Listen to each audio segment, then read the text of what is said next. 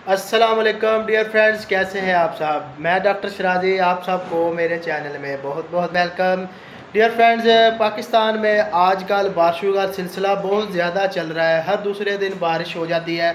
तो अगर आपको बारिश के कारण अगर आप बारिश में भीग गए हैं तो उसके वजह से, बारिश में भीगने की वजह से अगर आपको बुखार, जिसम दर्द हो रहा है तो रस्टाक्स टू हंड्रेड बहुत ही अच्छा रिज़ल्ट देगी।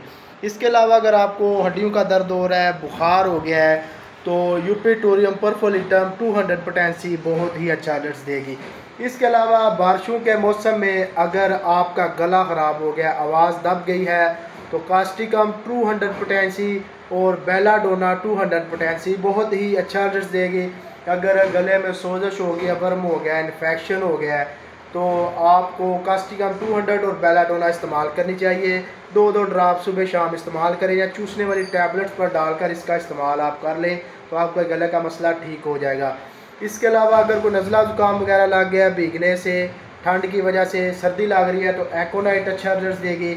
इसके अलावा ज़ुकाम बहुत ज़्यादा लग गया है तो इन्फ्लुइज़म थर्टी पोटेंसी बहुत ही अच्छा रिज़ल्ट देगी। तो डियर फ्रेंड्स ये था फिर मेरा आज का टॉपिक दो में याद रखिएगा। अल्लाह हाफिज़।